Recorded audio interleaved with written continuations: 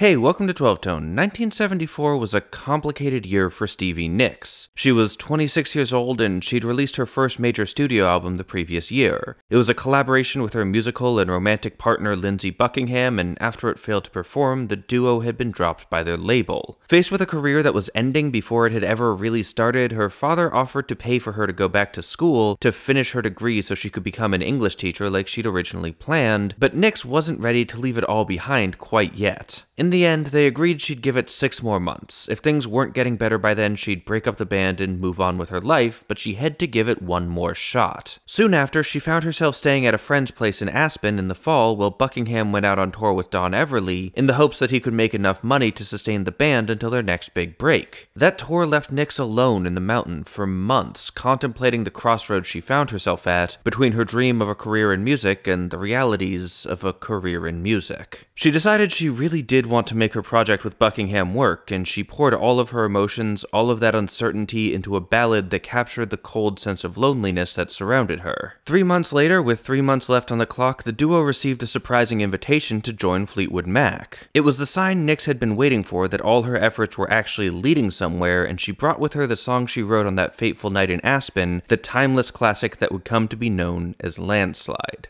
Let's take it apart. The song starts like this.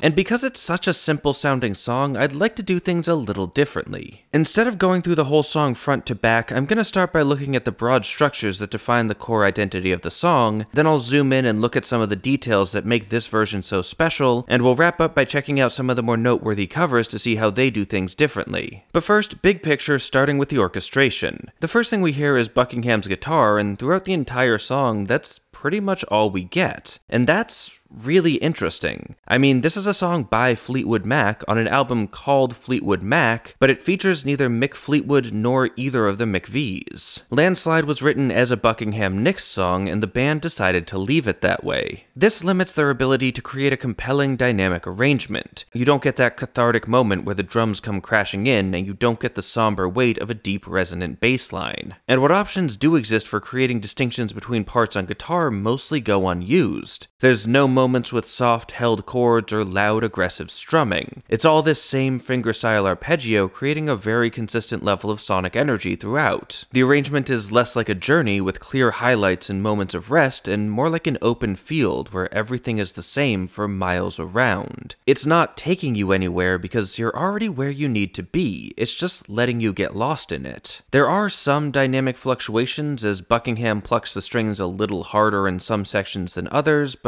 they're subtle. The track isn't getting louder and softer, it's expanding and contracting, almost like it's breathing. Almost like it's alive. But that's not to say it's not moving. Buckingham's arpeggios have this sort of locomotive groove to them, with clear, strong beats marked out by the bass line played on the lowest strings, and near constant 16th notes filling all the spaces in between.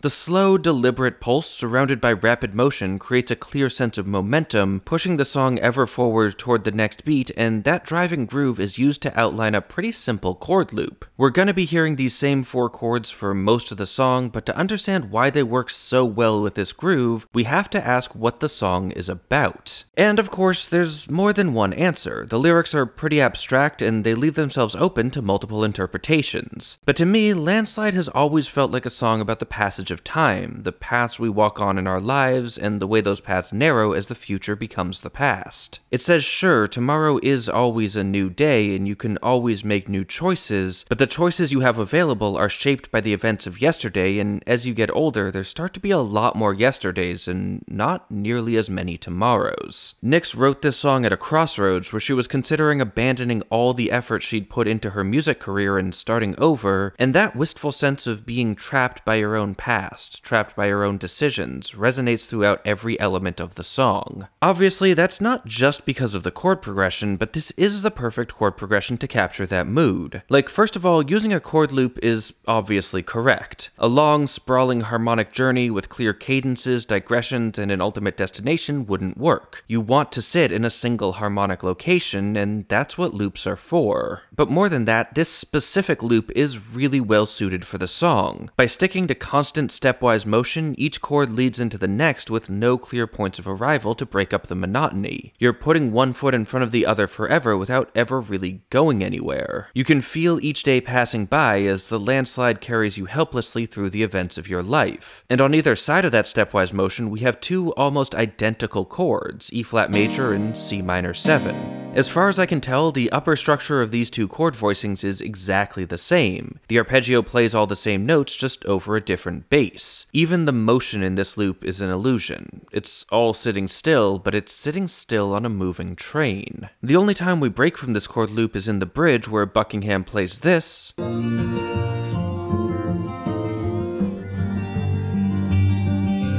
Which looks like a whole new thing, but it's actually just the same three chords all shifted down a perfect fourth. Moving lines up or down in fourths is pretty common in guitar-based music because all you have to do is play the same pattern but start on a different string, so this is pretty much the smallest change you could make without changing nothing. The normal loop is supposed to end on a B flat chord, but since the new one starts on a B flat chord, they avoid the weird redundant transition by switching one chord early, setting it up with the F chord that would be here in the new version. Música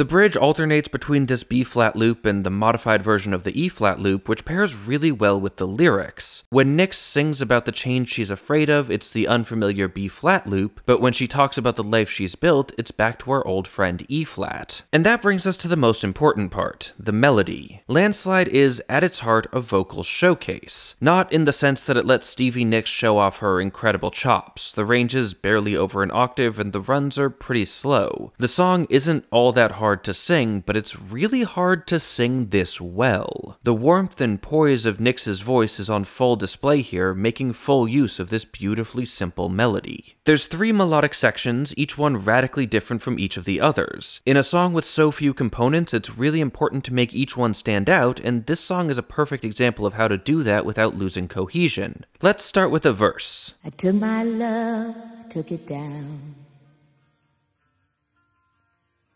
I climbed the mountain and I turned around.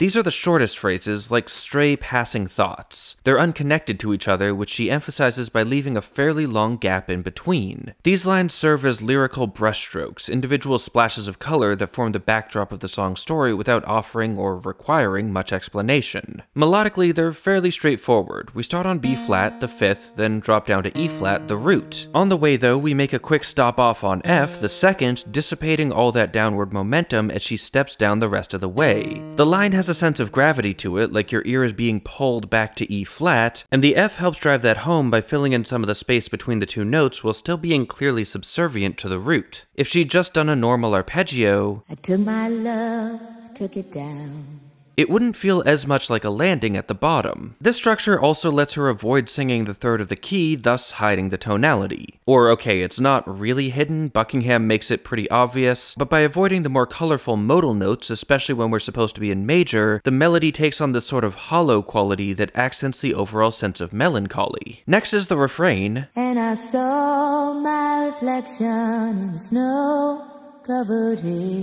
where the melody has expanded in a lot of ways. First, it's longer, with less space between the phrases. It's also higher, while the verse topped out at B flat, here we go all the way up to E flat. And finally, it's more complex. Up to now, the melody's been exclusively pentatonic, but right at the start, we get this strong accented D, the major seventh, bringing a new sort of tension we hadn't previously heard. All of this tells us that this line is important and that everything she's been singing previously should be heard in relation to what she's saying now. The image of the snow covered hills is central to the entire song, and here she's spelling that out pretty clearly. After that, to wind us back down to the next verse, we get this. Till the landslide brought me down which looks kind of like the verse, dropping from B flat to F, then continuing down to D, but on either side she fills in the modal notes C and G, so instead of hiding the tonality, she's embracing it. The second refrain doubles down on a lot of these ideas, in some cases literally. One of the advantages of using such a consistent loop is that without clear points of resolution, it's easy to lose track of time, so they can stretch it as needed. Nicks uses that to get away with singing the primary refrain melody twice in a row, building anticipation for the upcoming chorus, and she replaces the second half, the bit about the landslide, with a simple run with the same basic structure to avoid winding back down. The second refrain also goes a bit higher, with this F being pretty much the highest note she'll sing all song. All this helps keep things from getting too repetitive. Even in a song where repetition is the point, it helps to have some sort of interest curve. And finally, we have the bridge melody. Well, I've been afraid of changing, cause I've built my life around you. Up to now, the phrasing has been pretty natural, with roughly the same cadence she'd use if she were just speaking the line, but here she adds these pauses as if this thought is harder to put into words. We also see that in the melodic structure. The whole thing is built on a simple motif of a descending step, first from G to F, then C to B flat, and so on. These steps imply a downward angle to the music even as the overall melody rises. And while they seem like a new addition, they're actually all over the song. In the verse, we had that slide from F to E flat, took it down. and while the refrain is more animated, it still often approaches its most important notes by step from above. This motif is a central component of the song as a whole, and the bridge is bringing that to the forefront. The entire bridge melody follows it, except for the ends of the phrases. Here, she finds herself on a low F, and we'd expect her to step down to E flat, Build my life around you. But instead she turns around and steps the other way up to G. This prevents it from feeling quite as final, and it also emphasizes that color tone that she was hiding in the verse. It also does something else, but we'll get to that later. First, though, I'd like to move on from the big structures and talk about some of the little details that make this specific recording work. This is gonna be a bit less organized, mostly just highlighting random moments that speak to me in no particular order, but to maintain some semblance of narrative structure, I'll start with Buckingham's parts. The most obvious thing is, of course, the guitar solo. This is the only time we hear anything that isn't acoustic, and the whole thing is drenched in reverb, so it sounds like it's echoing to us from a long way away. For a song about being stuck in the patterns of life, it seems only fitting that the solo be basically the same thing twice. It's an 8 bar solo made of two 4 bar phrases, and the first half of each of those phrases is basically the same B flat major arpeggio.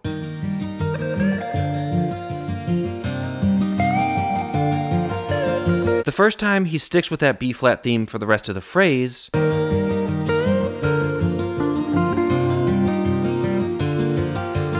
evoking the harmony of the bridge with its richer, more colorful tones. The second time, though, he replaces it with this big run down the scale.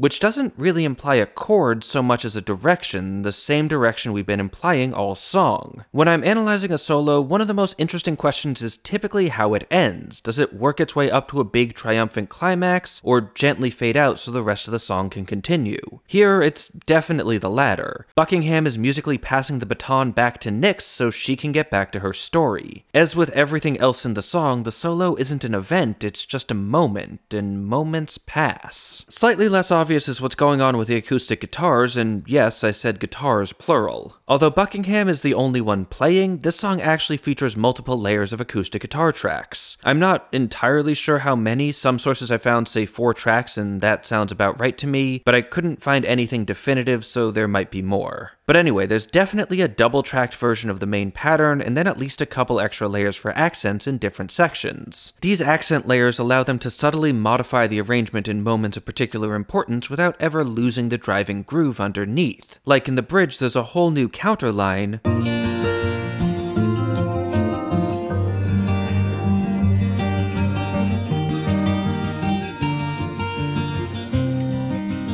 With a slower rhythm and some new rhythmic accents to play against the main melody and subtly emphasize the significance of this particular section, but because it's the same timbre as the rest of the background, it doesn't call as much attention to itself as, say, adding a drummer would. But even less obvious, and probably more important, is the impact of the double track itself. The foundation of the song is Buckingham playing the same arpeggio in two separate layers panned to opposite sides of the mix. But while they're basically the same pattern, they're not exactly the same pattern. He's playing this entirely with his fingers, giving him a very nuanced touch, and the subtle differences between the two performances create this echoing soundscape where the single guitar part gets split in two and then recombines as it reaches your ears. To demonstrate what I mean, I'd like to play you the first moment in the song where I really notice this effect underneath the first refrain. Try to follow along with the bass line, but don't follow it in pitch. We already did that. I want you to follow it in space. Which direction does it sound like it's coming from? Did you hear it? If you didn't, or if you just don't have stereo speakers, what happened is the first three chords had their bass note sounding from the right, but the fourth one sounded from the left instead. The note moved, and it continues to do that throughout the song, swirling around unpredictably in the acoustic space. Now, I don't know if this was intentional studio wizardry, or just the natural result of Buckingham hitting the strings slightly differently in different takes. It's probably a combination of both, but the point is that this sort of thing is happening all over the song, so this single guitar part feels like it's coming not from a single direction, but from everywhere. Like the loneliness of that cabin in Aspen, the song surrounds you in all directions. And finally, let's talk about Nicks. There's a lot I could say about her vocal performance here, but most of it can be summarized by a single moment in the first line of the second verse. Oh, mirror in the sky, what is love? And look, I'm calling this final note in E flat mostly out of respect. She's wildly out of tune. In fact, it's so flat that I briefly considered the possibility that she was trying to sing a D here, but after comparing back to the first verse melody and looking up some live performances, I feel pretty confident in saying that she's thinking of this as an E flat, that's just not what's coming out. And to be clear, I'm not bringing this up to make fun of her. This isn't one of those vocal teacher reacts channels where I pick apart all the little technical flaws in someone's vocal performance for fun? Is that fun? Do people enjoy that? It just seems mean. Anyway, this isn't that. I don't care if her technique is flawed here because I actually think this works really well. But to explain why, we have to talk about how this happened, and I think the best way to do that is to look at how she sings this line in the first verse. I took my love, took it down. Here, she's much closer to the actual note, but the tone of her voice is noticeably softer, and for the second line, I climbed a mountain and I turned around. She barely touches the E flat at all, sliding down to it from the F as her voice fades off. But in both lines in the second verse, she's using a much fuller, stronger tone, and she's just bottoming out. It's too low for her, and her voice is collapsing under the weight she's trying to bring down. She doesn't have the range, at least not yet, but she's pushing herself down there anyway, and she's not able to control it. So, why is that good? Well, the most obvious advantage of going down to the very bottom of her range is that it lets the rest of the song be pretty low as well. If this E flat is the lowest note she can handle, then setting most of the song in the octave or so above it means it all gets wrapped in this rich, warm, lower register tone. Even when she goes up to higher parts, like in the bridge, it's only relatively high. This whole melody sits comfortably in my range, and I'm an out of practice baritone. Low voices often carry a sense of age, maturity, and authority, and although Nicks was only 26 when she wrote Landslide, it's one of the most mature, world weary songs I've ever heard. The warmth and depth of her voice convey the song's message far more clearly than any of the lyrics, and losing the occasional note off the bottom is a small price to pay for that beautiful, rich tone. But it's not just a sacrifice making one moment worse in order to make the rest of the song better. I actually think that missing this note in specific is a brilliant move. Why? Well, let's listen to it again. What is love? When she sings that E flat, or rather, when she doesn't, she's doing it on the word love. She's asking a simple but profound question here What is love? And by being unable to sing the line in tune, she's answering it. She repeats that on the next line as well, where she asks if she can rise above, and again, the vocal delivery makes it pretty clear that she can't. Now, honestly, I don't think this was intentional. Again, I compared this to live performances, and especially later in her career where age and wear had lowered her vocal range, she hits the E flat just fine. But also, they did choose to go with this take in this key, and I have to assume someone in the studio noticed how flat she was. Also, in every other section of the song, she avoids resolving to the E flat at all, ending most of her lines on G instead to keep it in a more producible range. So while I don't think she meant to do this, I also don't think it's fair to call it a mistake. But Landslide is more than just a Fleetwood Mac song. While it was originally written as a very personal expression of Stevie Nicks' specific situation, she managed to tap into something almost universal. It's one of those timeless works of art that feel like they've always been around, as if even their first version was somehow a cover, and many great artists recognized that quality and decided to try it out themselves. We can learn a lot about a song like this by looking at what other people do with it, so before we go, I'd like to look at some of the more famous covers to see what they have to say. Besides the original, the best known version is probably the Smashing Pumpkins cover, so let's start there. This is actually a pretty faithful reproduction, sticking mostly to the composition and arranging choices made by Fleetwood Mac. It's even in the same key. But of course, it's not identical. The arpeggio is a little different, there's a new solo, and there's this one melodic change where for the first line of each verse, Billy Corgan ends on a G. which gives it a bit more of a trajectory, delaying the resolution to E flat until the second line. But for the most part, the Pumpkins version is paying tribute to the original, not reinventing it. And yet I still think it's a really successful cover because they changed the one thing they absolutely needed to change in order to justify its existence. They changed the singer. Again, Landslide is a vocal showcase celebrating the unique tone and depth of Stevie Nicks' lower register. But these notes aren't low for Corgan. This is a fairly comfortable middle register for him, so instead of leaning into a thick, resonant chest voice, he takes on a soft, breathy, almost childlike tone. While Nicks sounds resigned and resolute in her delivery, willing to accept whatever her fate winds up being, when Corgan sings stuff like this,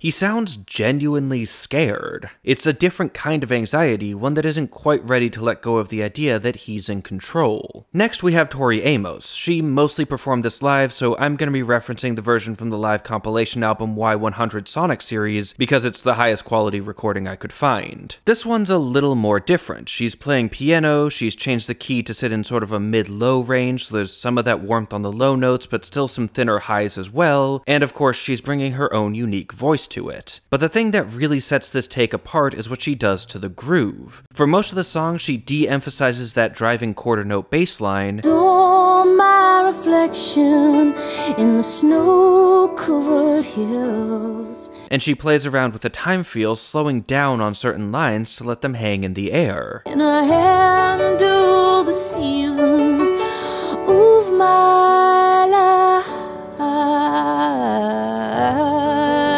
This makes Amos's version feel more retrospective. It has a different sort of tiredness to it, one born from looking back at a long and difficult past, whereas Nicks is looking forward to a long and difficult future. And finally, we have a cover by the Chicks, or as they were known at the time, the Dixie Chicks. This is the most radical departure from the original. Here, I'll play you a snippet and I want you to see if you can figure out what they changed.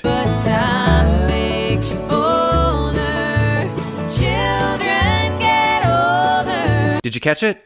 Yeah, it's everything. While all the other versions we've heard were a single voice over a single instrument, the Chicks have added three part harmony, an upright bass, a banjo, and some percussive strumming to mimic a drum kit. They've also lowered the energy in some sections in order to set up others.